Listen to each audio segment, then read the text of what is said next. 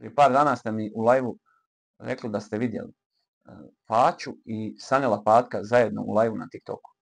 Naišao sam na taj snimak i TikTok profil Vice Balkan. Ali oni se jesu pomirili tad. Ali Paćo poziva Patka da udruže snage i da nešto promijeni. Ali ne znam, ne znam koliko ovaj video traje. Ovo što sam ja odgledao par minuta. Ja koliko sam primijetio, Patak malo vrda.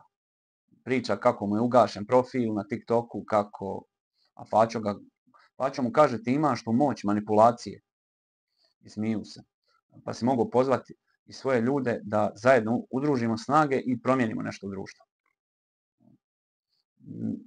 Koliko sam ja vidio i mogao da primijeti, nije Patak raspoložen za tako nešto. Nema od toga ništa. I to će biti samo jedna onako priča vidim da su se dogovorili da se čuju privatno. Ne, Patak je ekipa sa Hudom i ovim. Ili će se ubrzo posvađati, Pačo i Patak, ili će jednostavno Patak odustati od, od Faće i to je to. Ali prije da će se posvađati. Ja znam Faću, naljutit će se na Patka što to neće i što neće da se udruži da nešto promijene u društvu. I mislim da će se posvađati. E, baš da vidimo tako. A kao dokaz ovoga možete vidjeti na jednoj utakmici na kojoj na utakmici reprezentacije u Cazin promovisani Huda i Sanel Patak. I stvarno vidim da pišu njihova imena na toj utakmici reprezentacije. Čini mi se da je ovo rukomet.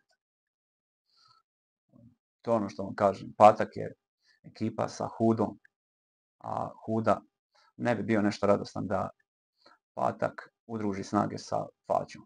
Jer um, Patak ipak malo je bolji od Hude.